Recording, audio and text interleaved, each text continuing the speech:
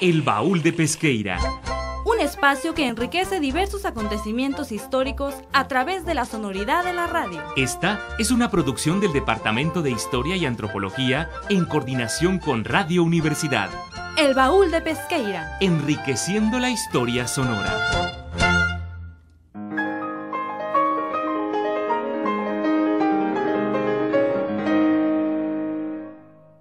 Buenas tardes, sean bienvenidas y bienvenidos a El Baúl de Pesqueira.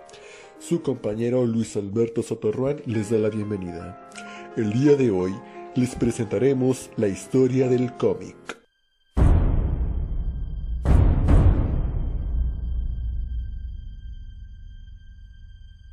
Para comenzar, les presentaremos el cómic como propaganda durante el siglo XX.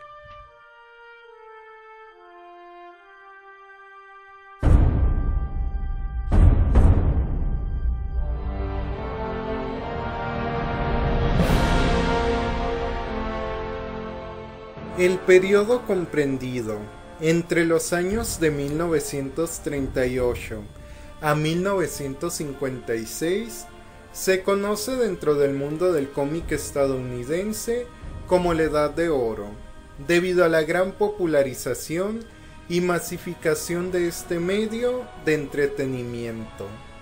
Según el blog Comic Verso, el gran hito que inauguró esta era fue la publicación del número uno de la revista Action Comics, y en él, de la mano de Jerry Siegel y Joe Shuster, apareció por primera vez el personaje de Superman.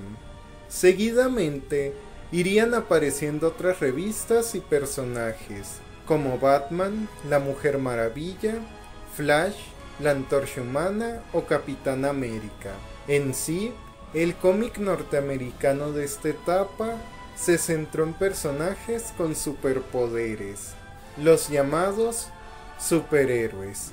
No obstante, en los primeros años de la edad de oro del cómic estadounidense, más específicamente de 1939 a 1945, el mundo hacía frente a la Segunda Guerra Mundial y el cómic no fue ajeno al conflicto. En el texto, la Segunda Guerra Mundial, eclosión del cómic de propaganda, Manuel García Ruiz nos cuenta algunas características propagandísticas que tomó la historieta estadounidense en este periodo. Estados Unidos, cito, en previsión de su probable entrada en la guerra, inició una campaña en masa de propaganda, en la que buscó convencer al público de la inevitabilidad y necesidad de la guerra ante el totalitarismo alemán, italiano y japonés. Fin de la cita. En este periodo, las acciones de los superhéroes se trasladan a la guerra, donde combaten contra los nazis, además que patrocinan un evidente patriotismo. Incluso personajes como Shield o Capitán América visten con los colores y estrellas de la bandera estadounidense.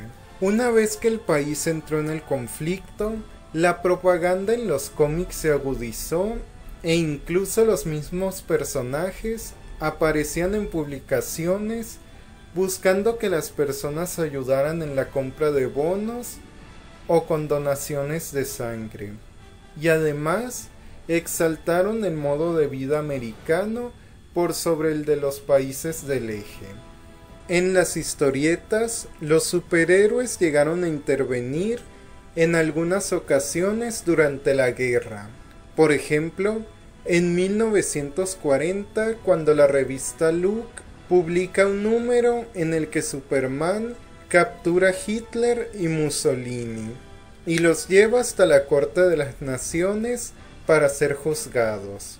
En las portadas de las revistas también nos muestran esa intención propagandística. Ejemplos de ello son la icónica portada del primer número de Capitán América, donde aparece propinándole un puñetazo a Hitler, o una, o una portada de Mujer Maravilla, donde juega los bolos los cuales representan a Hitler, Mussolini y Hirohito. Además participaron en varios actos en los que apoyaban a las tropas aliadas contra los enemigos del eje. Terminada la Segunda Guerra Mundial y ante la Guerra Fría, los enemigos de los superhéroes pasaron de ser los nazis a ser los comunistas.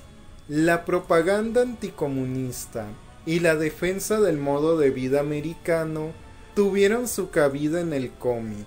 Según Andrea Ormoechea Ocaña, en el texto, el cómic como propaganda anticomunista en la Guerra Fría 1947-1960, superhéroes como Capitán América, Superman o Iron Man representarán las virtudes del sistema capitalista, así como del modo de vida estadounidense ya sea como defensores de la libertad y la justicia, como representantes del sueño americano o mostrando una superioridad tecnológica incuestionable.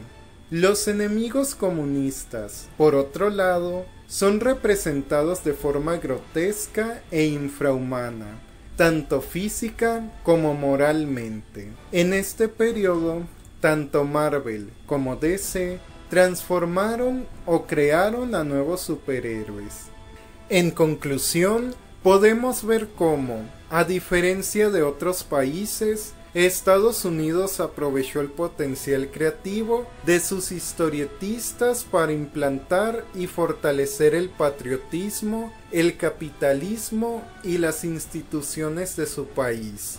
Ante los distintos enemigos, que en las décadas de los 40 a los 60 le salieron al paso, proponiendo modos de gobierno y de vida distintos a los suyos.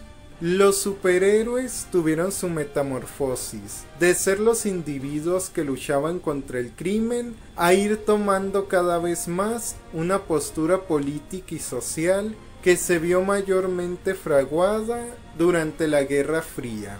Para el baúl de Pesqueira, Jorge Lares.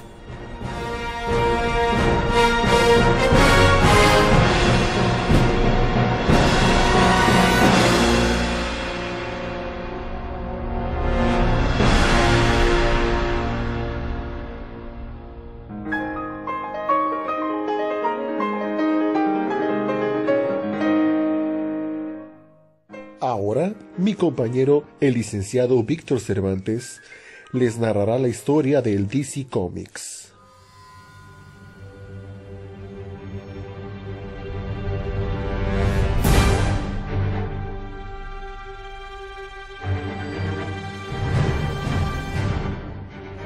DC Comics es una casa editorial estadounidense, la cual forma parte de DC Entertainment.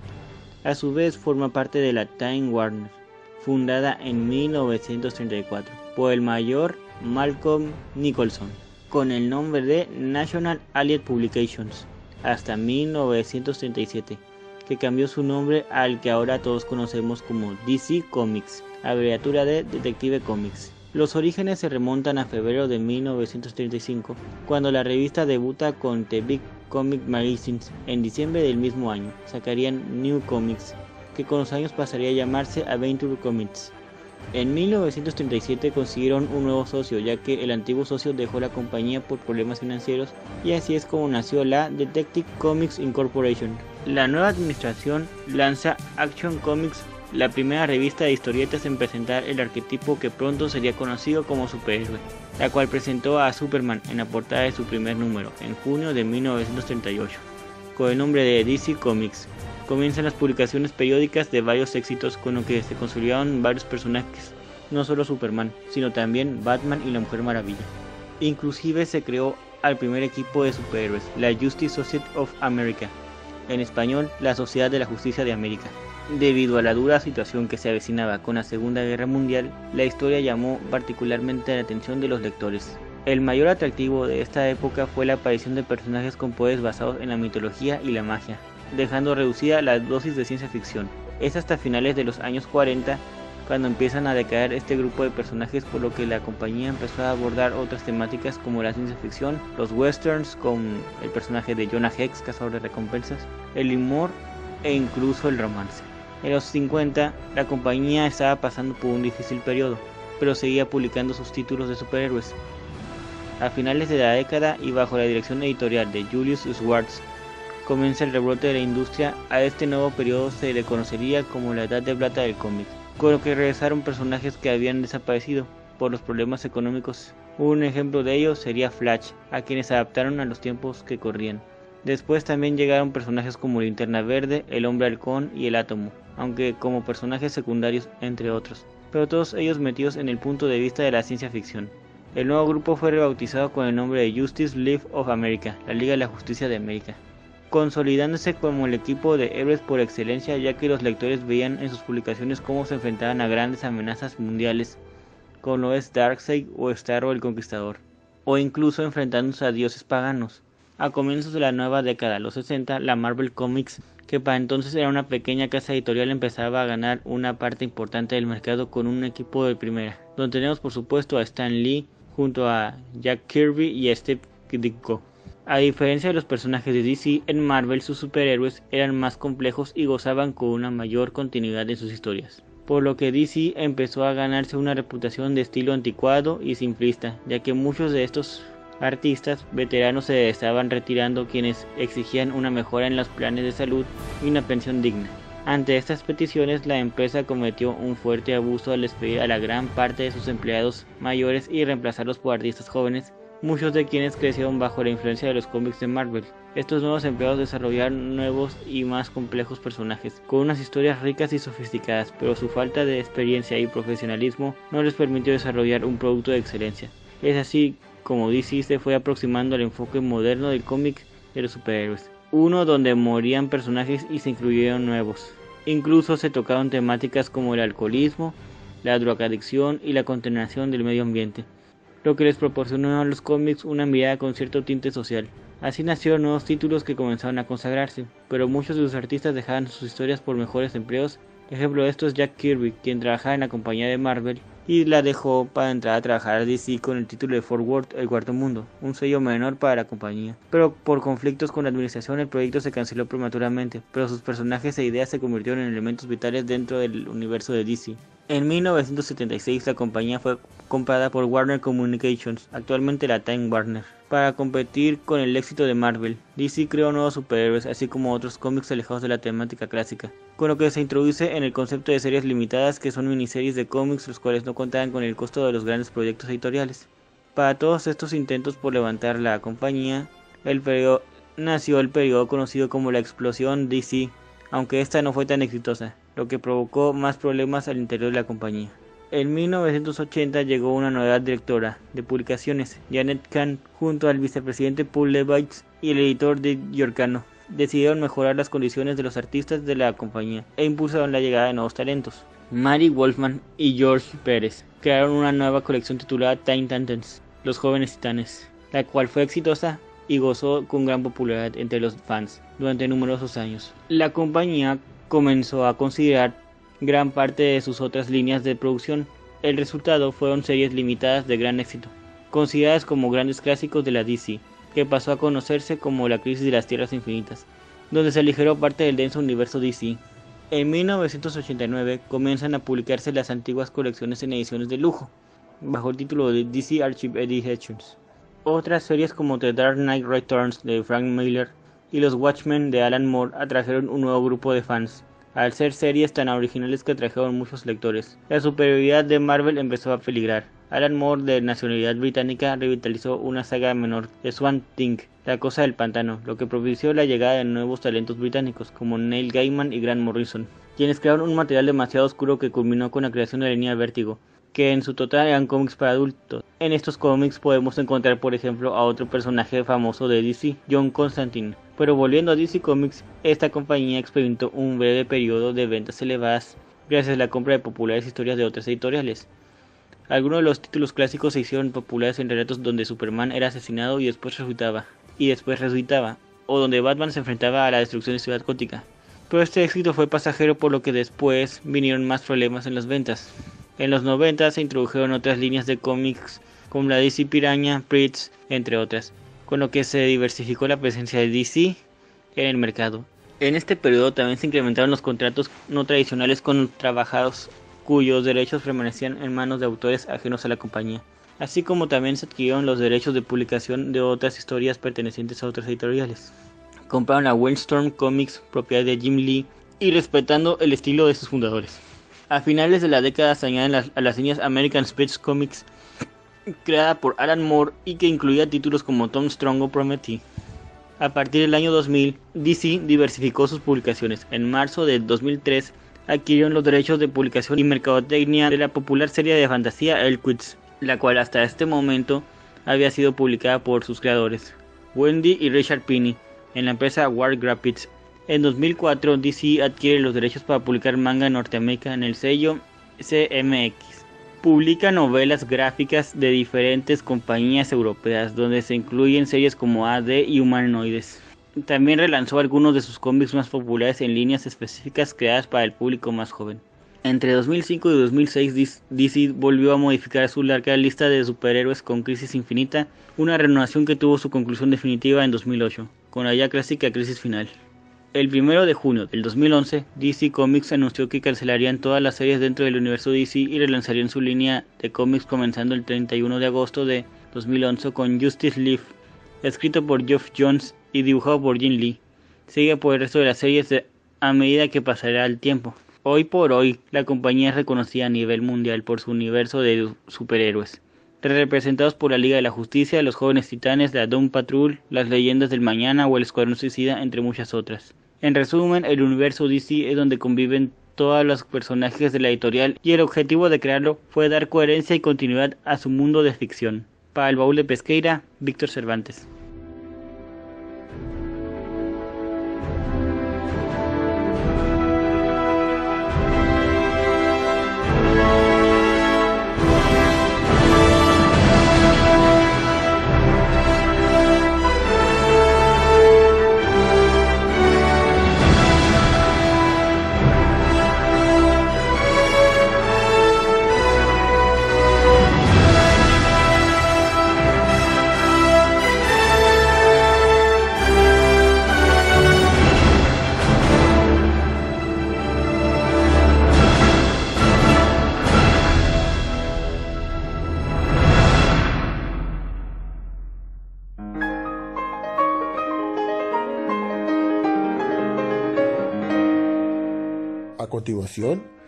Su servidor les platicaré la historia de Marvel Comics.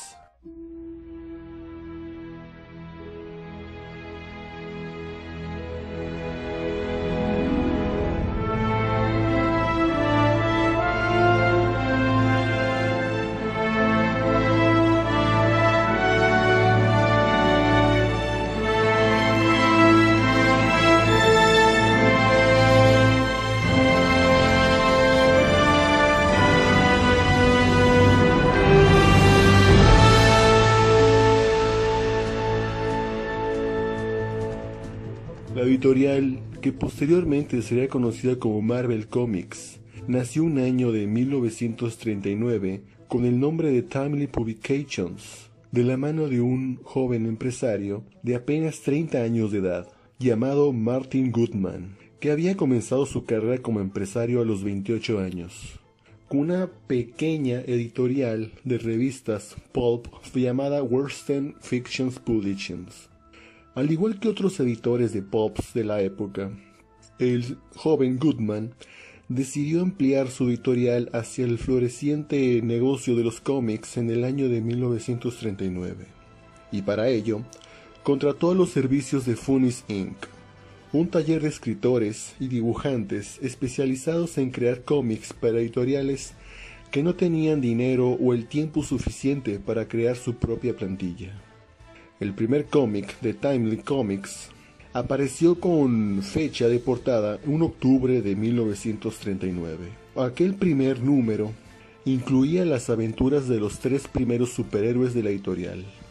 El androide conocido como la antorcha humana, el antihéroe Namor y el ángel. creados por Carl Burgos, Bill Everett y Paul Gustafson, respectivamente. Las ventas fueron buenas, porque en los meses siguientes Timely Publications eh, lanzó nuevos títulos como Daring Mystery Comics y Mystic Comics, también dedicados a los superhéroes. No obstante, a medida que las ventas fueron mejorando, el joven Goodman se interesó por formar su propia plantilla y reclutó a una docena de artistas de Funis Inc., a los que atrajo pagando mejores sueldos. A la cabeza de ellos estaba el nuevo editor Tamlin, un joven pero experimentado dibujante de 26 años, que se llamaba Joe Simon.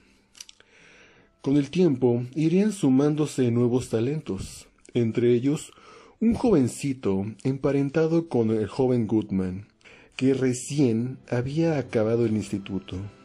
Su nombre era Stanley Martin Lieber, y él solía firmar con el seudónimo Stanley. A imitación de otras editoriales que habían comenzado a mostrar a los nazis como némesis de sus superhéroes, Tamley Comics enfrentó a sus superhéroes a las fuerzas alemanas aproximadamente dos años antes de que Estados Unidos entre en la Segunda Guerra Mundial. Con Amor luchando contra submarinos alemanes, la antorcha humana ayudando a los aviadores británicos, o el Capitán América golpeando al propio Hitler en la portada de su primer cómic. El público acogió la política antinazi de Timely Comics con entusiasmo, como demuestran las ventas de Capitán América Comics, que rozaron el millón de ejemplares vendidos. Para el baúl de Pesqueira, Luis Alberto Sotorruán.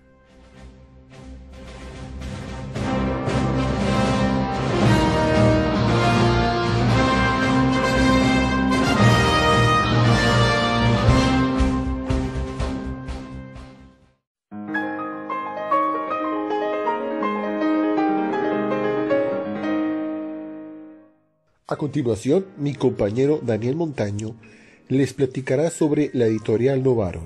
Adelante.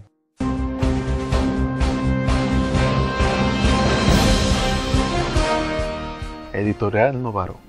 Al hablar del cómic no se puede omitir la referencia de los nombres que se les llegó a dar en español a varios personajes clásicos. No se puede omitir la referencia de los nombres que se les llegó a dar en español a varios personajes clásicos de las tiras cómicas desde Bruno Díez y Ricardo Tapia, Batman y Robin respectivamente, a Bruno Alba, este siendo Flash.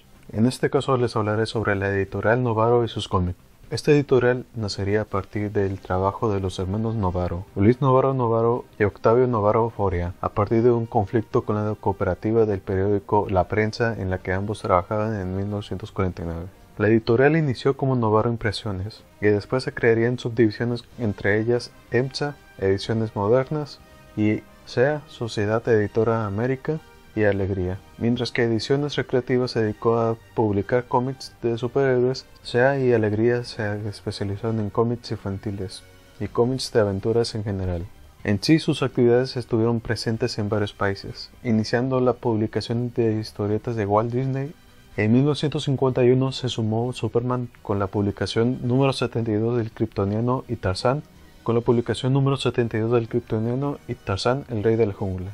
Poco después fueron apareciendo cada vez más títulos como Capitán Marvel, Batman, Tesoros de Cuentos Clásicos, donde aparecía Fantomas, La Amenaza Elegante, Roy Rogers, Chiquilladas, entre otros. En los siguientes años aparecieron muchos cómics de producción mexicana destacando Vidas Ejemplares, Vidas Ilustres, Estrellas del Deporte, Leyendas de América, Epopeya, Aventuras de la Vida Real, Grandes Viajes, Historia del Cristianismo, TV Mundial y un larguísimo etcétera. Para 1964 se renombraría la editorial a simplemente Editorial Novaro, teniendo éxito también en España gracias a las traducciones neutras en las licencias que manejaba. También cabe destacar que debido al registro de nombres o licencias de cada cómic que había en Estados Unidos, esto iba a resultar demasiado caro para Novaro, por lo que se decidió agrupar varios títulos dentro de, de varios y así ahorraban dinero, por lo que es común encontrar cómics antiguos con publicaciones de varios personajes. Pocos años tras el inicio de operaciones, los cómics comenzaron a ser exportados a otros países en América Latina, incluso formándose asociaciones con firmas editoriales locales que primero distribuían y más adelante incluso reimprimían en sus regiones de influencia. En este continente, para muchos niños y jóvenes, los cómics eran su primer contacto con la lectura e incluso en ciertas regiones con el idioma español, ya que hablaban sus lenguajes indígenas. Al descubrirlo, Editorial Novaro comenzó a editar títulos propios, de carácter histórico, científico y biográfico, por lo que se propuso ser un coayudante para el buen aprendizaje, no solo del idioma sino de reglas sociales, conocimientos técnicos y principios morales, procurando que su contenido fuera siempre apropiado y didáctico. En 1985 solo los títulos Superman y Batman estaban siendo publicados por Novaro, en lo que podríamos definir como el fin de una era, la calidad del papel empezó a disminuir, lo cual se trató de contraponer con la disminución del tamaño de la letra tipográfica. En marzo de 1985 se publican los números Superman 1537 con el Action Comic número 544 de Estados Unidos y el Batman 1301 correspondiente al Green Lantern número 150 de Estados Unidos siendo esto el último tiraje de cómics de la editorial. En sí, prácticas como la traducción o cambio de los nombres de personajes de los cómics o el cambio del formato de la impresión fueron acciones perjudiciales para la fueron acciones perjudiciales para su distribución también tomando en cuenta la mala, la mala fama que tenía el cómic para esos años, más que nada por el tipo de contenido que se, que se empezó a manejar. Esto no quita el hecho de que esta empresa marcó una tendencia en, el en este tipo de arte, algo que pocas editoriales actuales no han logrado realizar más que un par de baticubas o cancelaciones constantes con las empresas del, del país vecino. Para el baúl de pesquera Daniel Montaño.